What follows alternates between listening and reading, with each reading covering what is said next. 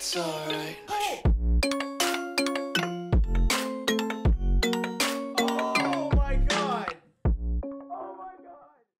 Yo guys, what is up? Max on Borderlands 3 video, and today we're going over Maurice's Black Market vending machine location for the week of August 5th. If you guys enjoyed the video, be sure to drop a like, comment, and subscribe. And with that, guys, let's get right into it. So for this week's vending machine, you're gonna want to come to Athenas, everyone's favorite planet, and work your way all the way up uh, to where like you take a left to go fight the Ratches. Uh, and where you meet Ava, everyone's favorite character, across the bridge. You're going up here to where the uh, Storm Bruin is, and up on the right here, you will find yourself the Black Market vending machine.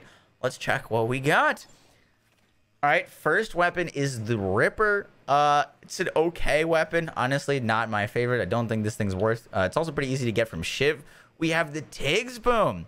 That is that's nice. That is very nice. Always good when you get takedown weapons there. Tiggs Boom is particularly good in here because the Tiggs Boom you want a times 18 variant, which is very difficult to get. So if you're coming here for the Tiggs Boom, I would there it is. Times 18 radiation Tiggs Boom. This would definitely be a buy for me. Uh, and then throw like splash on this thing. That's a sick weapon. And then lastly, the flood.